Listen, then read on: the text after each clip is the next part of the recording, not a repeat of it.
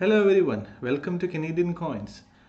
In this video, I would like to share some tips and like to educate my friends who are planning to apply for study permit and a spouse work permit along with that, like a combined application, both applications submitted together. So the primary applicant and the dependent will be submitting for uh, visa processing and permit processing together so this video will be having some tips as well as uh, the documents you guys have to be ready with while you are planning to submit this application. Before going deep into the video let me give a few uh, recap or the current situation what we are having in our PIA processing. The express entry through foreign skilled worker class has been delayed. In 2020, the last draw for foreign skilled workers happened in 2020 December and after that until now in 2021 there are no more draws. So this leave families and people who are planning for a Canadian immigration with a dead end. There is no other opportunities what they have. So people are looking for different ways which they can achieve this Canadian dream there is always a ray of hope for individuals, couples, and family for Canadian immigration. That is a student permit. How it works is they combine the application so that now a student permit will be combined with a spouse work permit application as well as a child visa as well so let's uh, let me take you through how it works uh, so the normal student permit how it works is a student uh, goes to an agent uh, with all the documents and IELTS and academic IELTS agent in turn submits an application to a college in Canada and the college sends back an offer once everything is good and it's accepted. So the student receives a letter of acceptance from a Canadian college and the agent processes or submits a visa as a representative to IRCC. So this is the normal student permit application how it works. But in the case of combined application when you have a dependent like a spouse and a child the process will be all the same until you get the offer letter but uh, when the agent submits prepares application so it should be a student's application spouse application and the child application all combined it's a bundle package in a single like a principal applicant and dependent and the application will be submitted for visa processing. If you are a resident of the countries listed below starting from Bermuda, Brazil, China, Colombia, Costa Rica, India you are eligible to apply the student permit or a student visa under a student direct stream. Let's see what is the specialty for this stream. So as per the, this, this document it, stay, it says the processing time is 20 calendar days. IRCC processes most of the SDS application within 20 calendar days. So it's a faster stream to get a student permit. Let's see what's the eligibility criteria you should have to be uh, to qualify for this stream. So the first one is a proof of language a test result with a score of 6 and above for all uh, the sections that is listening reading writing and speaking. So once you have that you are good with that. And the next one will be the proof of uh, guaranteed investment certificate that is a GIC of Canadian dollars 10,000 deposited in a bank in Canada. And a proof of full payment of tuition for the applicant's first year of study. So you have to have uh, the tuition fees paid in full to the college in Canada where you got a receive where you received a letter of acceptance. So next is obvious uh, there's a letter of acceptance that you received from the college and you have to have the most recent educational transcript. And the next important one is you have to have the medical examination done upfront before you submit an application. So if you are having all these six important documents you are eligible to apply under uh, the student direct stream also the key will be you, ha you have to ha be a resident of these following countries So another important factor for this stream as mentioned in this document is uh, regarding the family members. Family members of principal applicant who are applying under the SDS are eligible for concurrent processing if they apply at the same time as the primary applicant. So if you are adding a family member as a dependent in the primary application, as per this document it says the processing will be the same time. So both uh, the applicant and the dependent will be getting a visa approved in 20 days. So they can apply for work permit study permit temporary resident visa etc I would like to walk you through the uh, applications if you are planning to submit through SDS. IRCC may be changing or updating the portals every now and then so you might be seeing a different portal but uh, the questionnaires or the submit uh, the documents at the end you might be seeing that that's the document checklist will be almost the same so let's start in Google you are typing IRCC login and you are clicking the first link that appears sign into your IRCC secure account canada.ca so once you go in that page and if you scroll down you may see GC key login options and sign in partner. You can go to the GC key uh, sign in option if you already have an account. If you don't have an account created you can register for one. You can uh, watch my previous videos. You can click up there in the link to see how you can do it. Uh, the steps are pretty straightforward. You can do by yourselves. So once you log in you can uh, the next page you can see when you see scroll down to the bottom you can see start an applications. You click apply to come to Canada. So you may see uh, visitor visa study or work permit. So we are planning to apply for SDS student direct stream. So you click there and it will take you uh, to a questionnaires. You start answering those questions. So I uh, I'll just show what I have answered. I have kept. What would you like to do in Canada? I kept study. How long are you planning to stay in Canada? Temporarily more than six months. Uh, for a demonstration I have selected country codes as India and uh, current resident of India. Do you have any family members in Canada as, as of now? Um, I don't have any for this case so if you if your case is different and if you have somebody just create uh, just select yes and give your date of birth and you're not a lawful permanent resident of United States you selected no at any part of this questionnaire if you want to pause you can pause and you can view it have you been accepted to designated learning institution? Yes. For apply to apply to through an sds stream, you have to have a, a, acceptance letter from a college in Canada. So you select yes.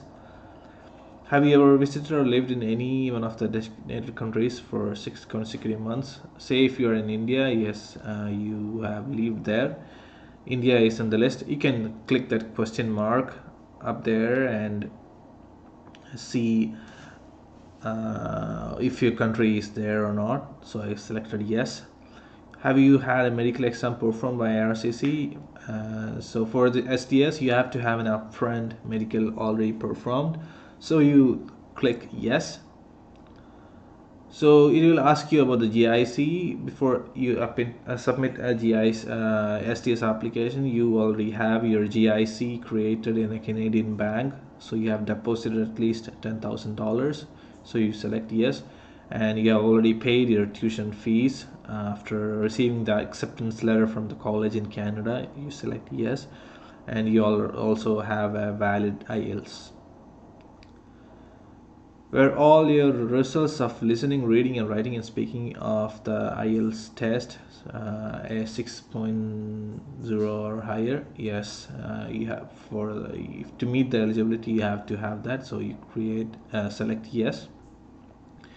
And you are planning to apply for yourselves and a spouse open work permit. So you, and here the question is is your marital what's your marital status you select married and which uh, province uh, of destination or, or what is the province of destination you select Ontario.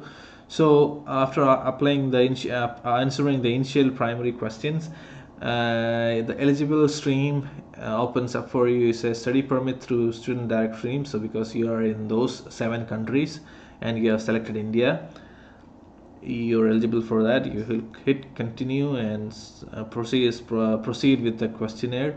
Do you have a valid work permit? Uh, as of now you have not applied for any so you select no. Uh, are you an exchange student? So pretty much everything is no in this page. You can just go through it and if it's a different case for you you can select accordingly. And are you accompanying a family member that has a status in Canada or recently uh, recently been approved to come to Canada so you don't have anybody who is having a status in Canada as of uh, for this example application so you select no. Have you been ever uh, arrested or you select no? Do you want to submit an application for a family member? Yes you are you want to submit an application for your spouse. You select yes. What country does your family member live in? So you both are living in the same country so you select India and which uh, country issued a passport? So India. Uh, is your family member a permanent resident of the United States? No. What is your so these are the details of your family member. You, and you select married family day of birth and, and why is your family member visiting Canada? So uh, usually in most of the cases the family member will be getting an open work qualifying for an open work so most of them will be opting for that. So if you have a different plan like studying or something you can select that. For this example i'm gonna select work with an open work permit.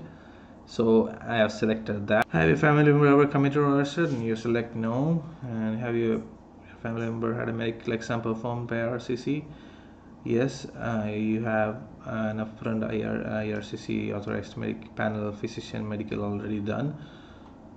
So you select yes for a family member. In the last 10 years has your family member given by uh, given either fingerprints photo for an application to come to Canada? This uh, we are just uh, two, a couple is planning to apply for a new one so they have never given any biometrics before. So if your case is different select accordingly. In this case I select no and you will be paying all the fees. You select yes do you have do you want to submit an application for another family member? Uh, you are just planning for you both. So you just select no. If you have kids accompanying you so you can select yes and do the application accordingly. Are you giving someone access to your application? No. In past 10 years have you given your biometrics? So you yourself don't have biometrics done so you select no because just these questions are answering these questions no they will charge you a fees extra fees because you have not done the biometrics before. So if you have done a biometrics before it's valid for the next 10 years. So you'll be paying all the fees uh, you'll be making the digital copy for the documents with the scanner yes you'll be paying with uh, the money with a card. So once you hit next uh, you will be able to see uh, the review answer page. Here you can answer uh, you can verify all your answers given to the questionnaire. Every uh, section you can uh, change your answers and the application will be updated accordingly uh, based on your answers you altered. You can verify if you have made any mistakes uh, if uh, what you have given. Once you verified you can go forward. You can every time you can edit each part. You can continue so continuing to next page and so here you'll be able to see a document checklist. So the document checklist what you require uh, for the SDS application the primary uh, document this IMM 1294 uh, made for a student permit. So you just click here and you'll be able to download an application say and you pretty much fill that and upload it back at the same place so let's see what all things are required. Uh, recent education transcript probably the recent uh, highest degree you are having. Next is a proof of guaranteed investment certificate the GIC the investment that you have made that is at least $10,000 that you have deposited in a Canadian bank which you already uh, given yes uh, you have done that a, from through a bank. And the proof of tuition payment that you have done to the Canadian college. So it, probably they want one full year of tuition paid. Proof of IELTS exam results you can apply it up uh, you can upload your score card here and your passport front and back pages. And the letter of acceptance letter uh, received from the Canadian college for your admissions. And use a family member representative for online applications marriage license or certificate like you these are because you selected you're bringing your dependent with you into Canada. Your digital photo proof of upfront medical exam that you already done family information pretty much answering all the questions in that document IMM 5645 and application for temporary visa made outside, outside Canada. Probably this is for uh, this is uh, um, for the visa application visa counterfoil that you're uh, getting stamped on your passport. And if you have to give any additional informations like the statement of purpose usually people upload it here. It uh, depends if you want to say anything more to the officer you can do that and this is uh, for the family members the same uh, document. Uh, you have selected you have opted for a work permit for the family member based on your study permit application. So uh, here is an application for a work permit made outside of Canada I am um, 1295 so pretty much download it and complete it upload it back. Family information passport purpose of travel to be with the family members. You can write a letter or whatever um, you can have to and your police certificates that uh, you generated from uh, the country proof of upfront medical exam and application for temporary you can just this is pretty much straightforward. And like AC because you have combined applications you are paying a fees of almost 575 Canadian dollars so that pretty much is once you upload all the necessary documents you will have uh, submit options or continue to next page where you can pay your fees. So that's pretty much everything for an SDS applications. Thank you so much for watching. I was trying to uh, share my thoughts to people who are trying to apply or come to Canada as a family and rather than applying for an individual uh, student permit and later on trying and waiting for the spouse work permit you can try this option combine the application so that you get uh, processed in like 20 calendar days so that both of uh, both all the family can be here in one go. Thank you and have a nice one